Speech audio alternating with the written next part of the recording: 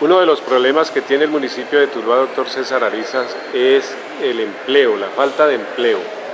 ¿Qué propuestas, qué ha hablado usted con los empresarios y la comunidad en general para generar esas nuevas propuestas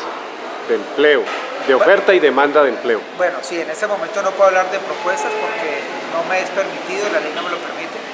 pero créanlo que llegará su momento en que vamos a decir cuáles van a ser las propuestas para que Tuluá pueda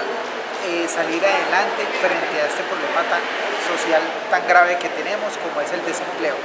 Tenemos en este momento el 35% del desempleo que ha incrementado durante los últimos años y tenemos el, casi el 50% en desempleo en jóvenes. Entonces estamos creando las estrategias, estamos creando los planes de contingencia para disminuir esta tasa y lógicamente que todos los sureños, como dije ahora, tengan una mejor calidad de vida y una oportunidad digna de trabajo, que eso es lo que queremos, que los profesionales y los jóvenes y las personas adultas, la gente mayor, puedan tener esas oportunidades que tanto han querido y que tanto han necesitado acá en nuestra ciudad.